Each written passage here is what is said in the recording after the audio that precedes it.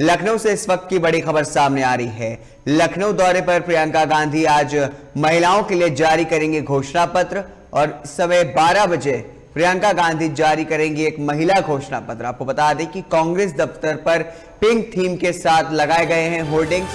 कांग्रेस मुख्यालय पर एक पिंक स्कूटी भी दिखाई दे रही है, रखी गई है। इससे साफ़ ज़ाहिर होता है कि कांग्रेस का जो इस बार का घोषणा पत्र है, वो महिलाओं के लिए खास तैयार किया गया है। आज लखनऊ दौरे पर प्रियंका गांधी होंगी। उम्मीद की जा रही है कि भारी संख्या में उनके साथ कार्यकर्ता भी इस दौरान मौजूद रहेंगे। 12 बजे प्रियंका गांधी महिला घोषणा पत्र जारी करेंगी। कांग्रेस दफ्तर पर पिंक थीम के साथ लगाए गए होर्डिंग्स, कांग्रेस मुख्यालय पर एक पिंक स्कूटी भी रखी गई है। आपको बता दें कि कुछ समय पहले कांग्रेस की, कांग्रेस ने घोषणा की थी कि अगर वो सरकार में आएगी तो महिलाओं को स्कूटी बांटी जाएगी, जो छात्र हैं, जो स्कूल और कॉलेज की छात्र हैं, उनको स्कूटी दी जाएगी। इसको लेकर के एक कांग्रेस मुख्यालय पर एक पिंक स्कूटी भी रखी गई है। 12 बजे महिला घोषणा पत्र का घोषणा होगी, उसको जारी किया जाएगा। इसी के क्रम में कांग्रेस दफ्तर पर पिंक थीम के साथ लगाए गए हैं होर्डिंग्स। आपको बता दें कि कांग्रेस मुख्यालय पर एक पिंक स्कूटी भी रखी गई है। राजधानी लखनऊ में आज प्रियंका गांधी दौरे पर होंगी। 12 बजे प्रियंका गांधी जारी करेंगी महिला घोषणा पत्र।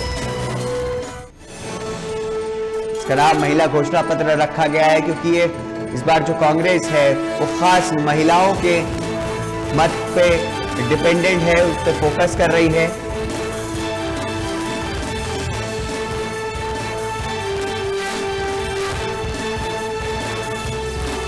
आज महिलाओं के लिए जारी किया जाएगा घोषणा पत्र 12 बजे प्रियंका गांधी जारी करेंगी महिला घोषणा पत्र आपको बता दें कि कांग्रेस दफ्तर पर पिंक थीम के साथ लगाए गए हैं सारे होर्डिंग्स। कांग्रेस मुख्यालय पर एक पिंक स्कूटी भी रखी गई है।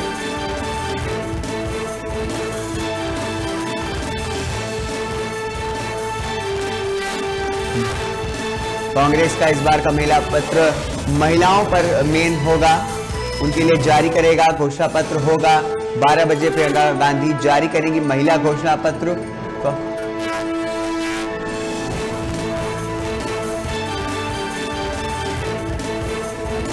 इस मामले पर बात करने के लिए हमारे सहयोगी जय त्रिपाठी लखनऊ से हमारे साथ फ़ोन लाइन पर जुड़ चुके हैं। जय, क्या कुछ जो घोषणा पत्र आज जारी होने वाला है, उसको लेकर के क्या कुछ जानकारी सामने आ रही है?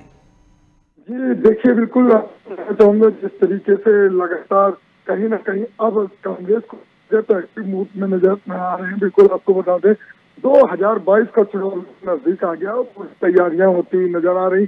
अगर हम प्रियंका गांधी करें तो प्रियंका गांधी लगातार एक्टिव चाहे कोई भी मामला कोई भी मुद्दा हो तो बिल्कुल सामने रही। अगर हम बात करें तो आज लखनऊ में दौरा चल रहा है और लखनऊ में लगातार वो पहुँच चुकी उस बार वो अहम बैठक कर रही, लोगों से मुलाकात उसके बाद अभी तक भी महिलाओं के लिए लगातार महिलाओं की लगातार बात करते कि जिस तरह महिलाओं को उन्होंने कहा था कि महिलाओं की भागीदारी रहेगी और तरह कई तरीके से महिलाओं को आगे बढ़ाया जाएगा तो कड़ी में आपको बताते चले कि महिलाओं के लिए जारी किया जाएगा। अभी कुछ ही देरों में घोषणा पत्र जारी होने वाला है, जिसमें का नाम महिला घोषणा पत्र के रूप में गया है कांग्रेस के दफ्तर में इसको किया जाएगा और पिंक थीम इसमें होर्डिंग लगाई गई है और आपको बड़ा मुख्य पिंक स्कूटी भी रखी गई है। कहीं ना कहीं जिस तरीके से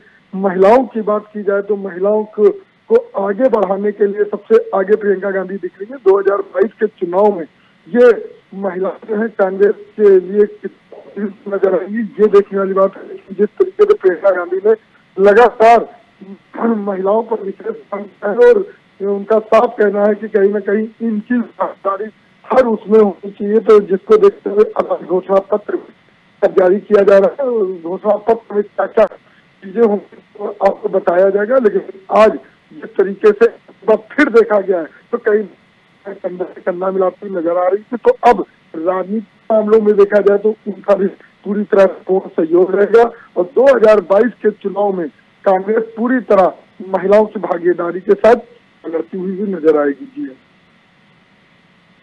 इस मामले पर हमसे बात करने के लिए और तमाम जानकारी हम तक पहुँचाने के लिए।